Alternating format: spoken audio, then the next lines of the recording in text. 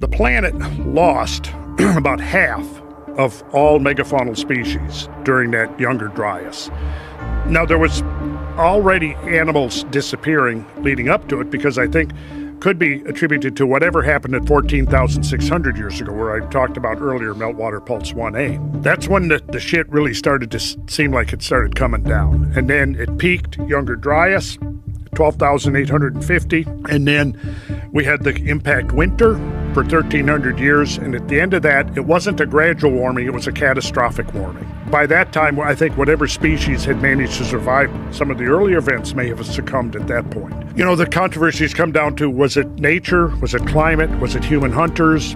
I think it was all of that, but I think hunters was probably a minor contributor to it because, for one thing, it now appears that the human population took a major crash at the same time. We see that there's evidence that the Clovis culture in North America pretty much completely disappeared right at that boundary. Well, they weren't the only ones around the planet. Now, if you go and you look at you know, some of the archaeological evidence, one of the things that you see over and over again is well, there was this cultural group in Japan or wherever. I just uh, read a paper on that recently.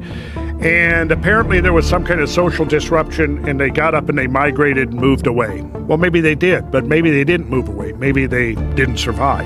And there was a tendency to think, well, you have this evidence of cultural habitation of this area for centuries or millennium, and then suddenly you don't. Well, people must have picked up and moved, but maybe that's not the explanation. Maybe it's more a case of they got wiped out.